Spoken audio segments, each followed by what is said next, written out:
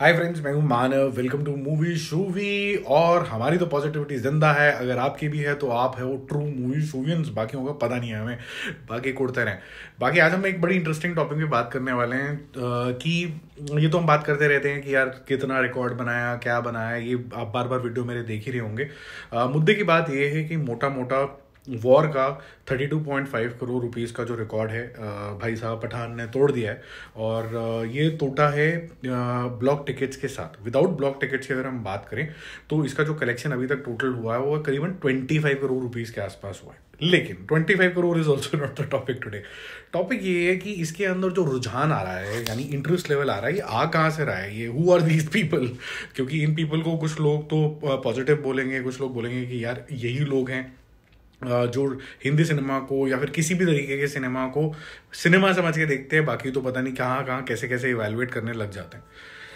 But मुद्दे की बात यह है कि अगर आप इसका ये देखें कि पच्चीस करोड़ रुपए में से, ठीक है, लगभग लगभग twenty five point five crore आए हिंदी सेगमेंट के अंदर, ठीक है जी?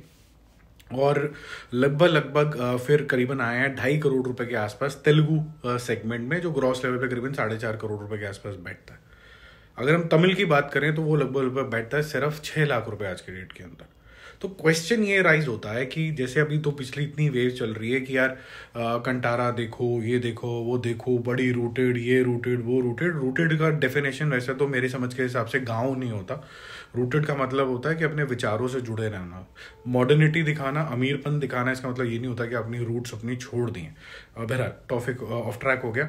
मेरा को ये समझ में नहीं आ रहा है कि जब हम ये एक्सपेक्ट करते हैं कि हिंदी ऑडियंस जो है साउथ की बहुत ज़्यादा पिक्चर देखे। वैसे तो वो भी कुछ खास देखते नहीं है दो चार को छोड़ के। बाकी जो ऑडियंस है वो क्यों नहीं देख रही है शाहरुख खान जो कि एक नेशनल स्टार की रिकग्निशन डिसेंटली रखता है? वहाँ पर तेलुगु में साढ़े चार करोड़ रुपए, तमिल में छः लाख रुपए, ऐसा तो है ही नहीं कि आपकी लैंग्वेज में नहीं आ रही है, हिंदी में आ रही है, उसके अलावा आपकी लैंग्वेज में भी आ रही है तो आपका देखना तो बनता है। तो इसका मतलब ये है कि बड़ा क्लियरली कि तुम अपना ढोल बजाते रहो। हमें कोई फ़र्क नहीं पड़ता, हम तो अपनी स्टार की मूवी देखेंगे। तो इसका मतलब क्लियरली है कि वो कंटेंट पे नहीं जाते हैं, अपने स्टार के ऊपर जाते हैं और वो क्लियरली रिफ्लेक्ट करता है। जब उनके स्टार की कोई भी मूवी आती है तो वॉल्टर वेरैया हो, चाहे फिर वो वीरा सिम्हा रेड्डी हो वो सब सौ डेढ़ सौ दो करोड़ कर जाती है क्योंकि वो लोग पिक्चर देखने नहीं जा रहे हैं वो तो स्टार देखने जा रहे हैं उनकी लॉयल्टी तो नहीं ज़्यादा है। तो मैं इससे ज़्यादा कुछ नहीं बोलूँगा बट ये पॉइंट सोचने वाला है कि वो लोग मूवी देखने ही नहीं जा रहे हैं एक्चुअली में।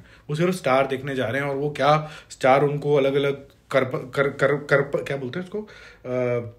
सर्कस में जो होता है कर करामात दिखा के करतब दिखा के एंटरटेन कर सकते हैं। तो वो कर रहे हैं वो लोग। और कुछ लोग अच्छी एक्टिंग करते हैं, बहुत बेमिसाल एक्टर्स हैं, कमल हसन फॉर एग्जांपल ज़बरदस्त। और उनकी मूवी तो चलनी भी चाहिए। हर चीज़ में कुछ ना कुछ नया नया इनोवेशन करते रहते हैं। कुछ फालतूगिरी में भी चले जा रहे हैं और चलते ही चले जा रहे हैं। और आज तक ज़िंदगी में तो उनको किसी ने पूछा नहीं, अब जब बुढ़ापा आ गया उनका तो अब वो कह रहे हैं, नहीं नहीं नहीं नहीं, इनकी पूछा करो। पता नहीं, मुझे समझ में नहीं आ रहा है, यार, ये, ठीक है, पूजा करनी है हर एक एक्टर की तो फिर अक्रॉस इंडिया करो ना, कुछ लोगों की क्यों करो? थोड़ा सोचो इसके बारे में। Bye bye